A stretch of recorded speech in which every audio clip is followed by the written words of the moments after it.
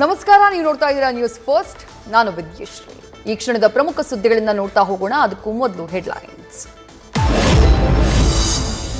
D K Shivakumar CM ಆಗೋಕ್ಕೂ ಒಂದ್ ಕಾಲ ಬರುತ್ತೆ. ಈ ಬಗ್ಗೆ ಹೈಕಮಾಂಡ್ ನಿರ್ಧಾರ ಮಾಡುತ್ತೆ. ಸ್ವಾಮೀಜಿಯವರ ಅಭಿಪ್ರಾಯವನ್ನ ಹೇಳಿದ್ದಾರೆ ಎಂದ ಸಚಿವ ಚಲುವರಾಯ ಸ್ವಾಮಿ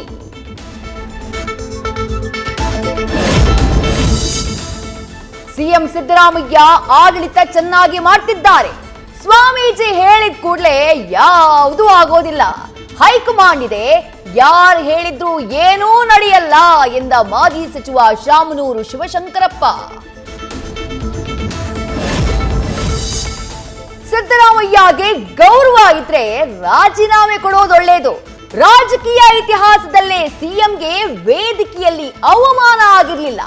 ವಿಪಕ್ಷ ನಾಯಕ ಆರ್ ಅಶೋಕ್ ವ್ಯಂಗ್ಯ. ಉತ್ತರ ಕನ್ನಡ ಜಿಲ್ಲೆಯಲ್ಲಿ ಕಡಲ್ ಕೊರೆತದ ಭೀತಿ, ಕಾರವಾರದ ದೇವಭಾಗದಲ್ಲಿ ಹೆಚ್ಚಾದ ಕಡಲಿನ ಅಬ್ಬರ, ಅಲೆಗಳ ಆರ್ಭಟಕ್ಕೆ ಬೀಚ್ ರೆಸಾರ್ಟ್ನ ನಾಲ್ಕು ಕಾಟೇಜ್ಗಳಿಗೆ ಹಾನಿ.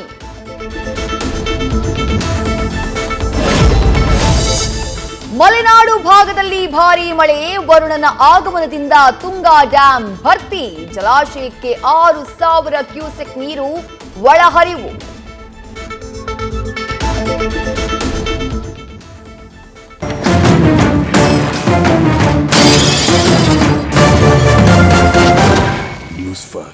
ನಿರ್ಭೀತಿಯಿಂದ ನಿಮ್ಮ ಪರವಾಗಿ.